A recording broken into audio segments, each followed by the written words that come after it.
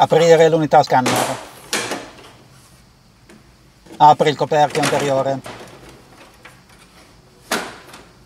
Prendi la cartuccia toner usata e rimuovila.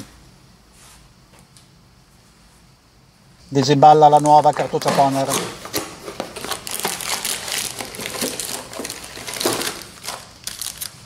Togli il coperchio protettivo. Non toccare questo rullo verde, il tamburo. Non esporre la cartuccia toner alla luce per troppo tempo. Il tamburo è fotosensibile, potrebbe rovinarsi. Scuoti con delicatezza la cartuccia da lato a lato 5-6 volte per distribuire meglio il toner all'interno della cartuccia.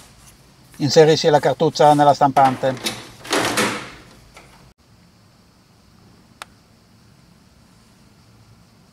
Chiudi il coperchio. Chiudi l'unità scanner.